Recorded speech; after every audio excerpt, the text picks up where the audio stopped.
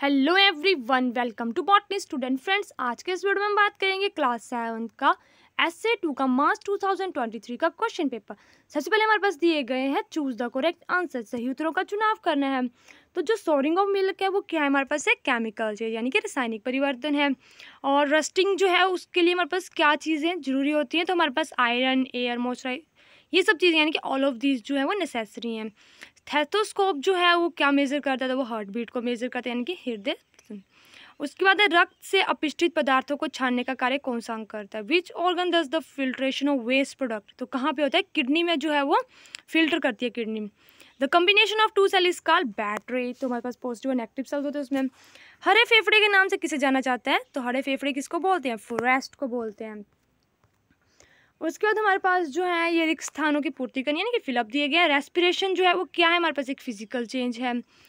और उसके बाद है, हमारे पास मैग्नीशियम प्लस ऑक्सीजन मिलके हमारे पास क्या बनाएँगे? Dash is the unit of speed speed का क्या यूनिट है? मीटर पर सेकेंड इलेक्ट्रिक जो सेल होता है, उसमें हमारे पास टू टर्मिनल्स होते हैं। The red pigment present in blood इसको क्या बोलते हैं? Haemoglobin the threat dash threatens our life and environment किससे हमारा जीवन और पर्यावरण को खतरा पहुँच रहा है? पोल्यूशन से। उसके बाद हमारे पास प्रश्न नंबर थ्री है, जिसमें हमें जो है वो ट्रू और फॉल्स करने तो हमारे पास ये कुछ ट्रू फॉल्स दिए गए हैं। उसके बाद हमारे पास क्वेश्चन नंबर फोर है, जिसमें हमें जो है मैचअप करने यानी कि मिलान करो दिए गए हैं। उसके बाद प्रश्न नंबर पाँच है, जिसमें हमें प्रश्नों के उत्तर देने हैं। What is the liquid part of blood का ब्लड के लिक्विड पार्ट को क्या बोलती है? फुफून किस बीबी द्वारा पचन करती है? उसके बाद है formula for average speed full form बतानी है आरबीसी यानी कि राइट रेड ब्लड सेल की फुल फॉर्म पूछी है। वाटर कंजर्वेशन के दो मेथड बताने किस तरह से हम जल को जो है संरक्षण में बचा सकते हैं। What percentage of earth water is clean कितना प्रतिशत वाटर जो है वो साफ़ है? प्रश्न नंबर छः में हमें जो है क्वेश्चन के आंसर देने करने हैं। What is the function of electric fuse nothing goes in when in the forest how कि वनों में जो है कुछ भी व्यर्थ नहीं जाता है। कैसे? वेन की जगह जो है वो वेस्ट आएगा। डिफ्रेंशिएट करना है आर्टरी और वेन में। आइडेंटिफाई करना है फ़िज़िकल और chemical change that take place in burning candle और उसके बाद ये है हमारे पास प्रश्न नंबर सात, जिसमें हमें जो है वो थ्री क्वेश्चन के आंसर करने हैं और ये थ्री क्वेश्चन जो थ्री मार्क्स के हैं। तो हमें जो है पेंडल यानी कि एक फिजिक्स से क्वेश्चन आ गया है।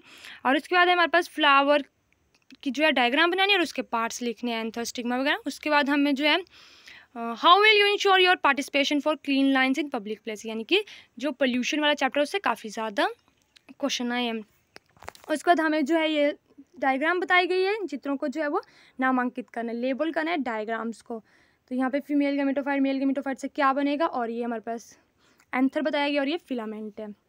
तो ये थी हमारी आज की वीडियो, जिसमें हमने क्वेश्चन पेपर के बारे में देखा साइंस का सेवन्थ क्लास का। इसी के साथ हमारी वीडियो कंप्लीट होती है आई होप आपको मेरी वीडियो अच्छी लगी। अगर आपको मेरी वीडियो अच्छी लगी तो प्लीज़ मेरी वीडियो को लाइक करें चैनल को सब्सक्राइब करें। Thank you